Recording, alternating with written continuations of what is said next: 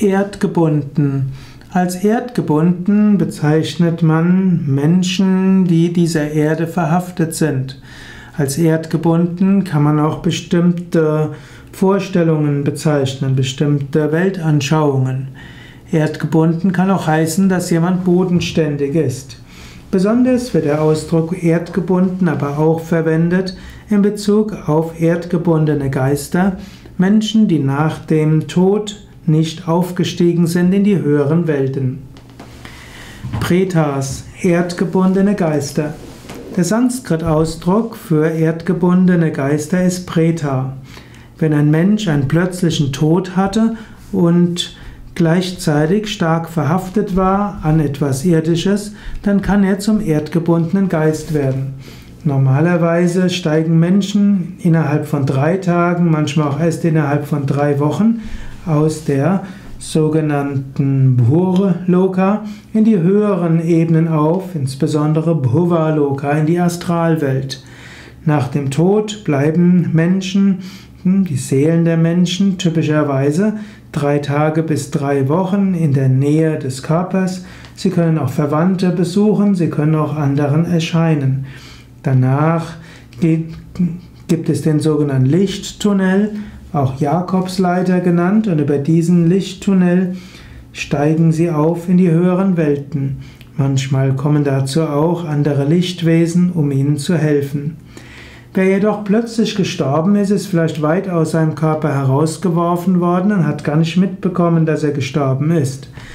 Und äh, er hat vielleicht auch eine Weile das Bewusstsein verloren. Und wenn er noch dazu verhaftet ist an die Erde und sich vorher nicht mit dem Tod beschäftigt hat, kann er eine Weile zum erdgebundenen Geist werden. Auch Menschen, die ihrem Leben vorzeitig ein Ende gesetzt haben durch Suizid, also Selbstmord, Freitod, die werden oft so lange zu erdgebundenen Geister, bis sie ihre natürliche Lebensspanne abgeschlossen hätten. Erdgebundene Geister können Kontakt aufnehmen mit physischen Menschen, sie können ihnen erscheinen, sie sind oft verantwortlich für Poltergeistphänomene und sie können auch kleine Spukphänomene verursachen. Manchmal kann man als spiritueller Mensch spüren, dass dort gerade ein erdgebundener Geist in der Nähe ist. Das merkt man daran, dass es irgendwo dort eine Schwere gibt und gleichzeitig ein subtiles Wahrnehmungsvermögen. Erdgebundenen Geistern kannst du helfen, indem du Rituale ausführst, zum Beispiel Arati, das Lichtritual, indem du für sie Gebete sprichst oder auch ein Mantra wie das Om Triambakam. Das Om Triambakam gibt erdgebundenen Geister die Kraft, in die höheren Welten aufzusteigen. Und so will ich zum Abschluss das Om Triambakam bewusst wiederholen und dabei etwaige erdgebundenen Geister besonders mit einschließen, die dieses Video anhören oder diesen Vortrag anhören.